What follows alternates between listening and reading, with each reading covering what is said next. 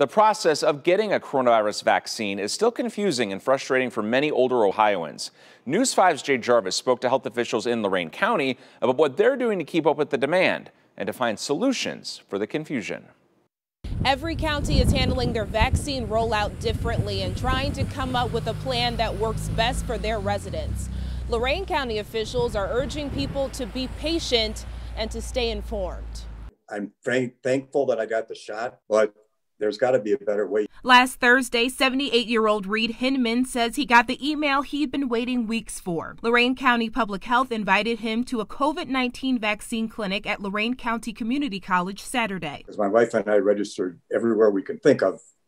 And that was the first response we got from anyone. The email told Hinman to arrive between 10 and 11 o'clock, but the lines at the clinic were so long, he waited three hours. It was so cold.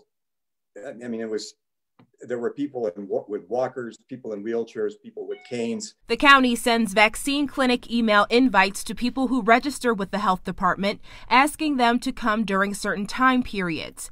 Health Commissioner Dave Covell says sometimes people don't always follow that guidance. Sometimes people come three hours early.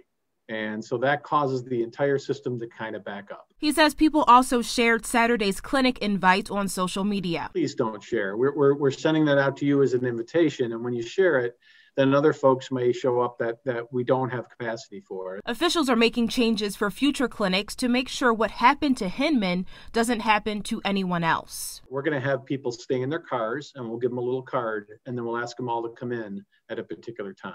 Hinman is supposed to go back for his second dose in three weeks. He's hoping the process is smoother and more comfortable. Lorain County Health Department's the only one so far that's that's come through. Covell says the county is partnering with churches and senior centers to reach older people who don't have internet access to get them signed up for vaccinations.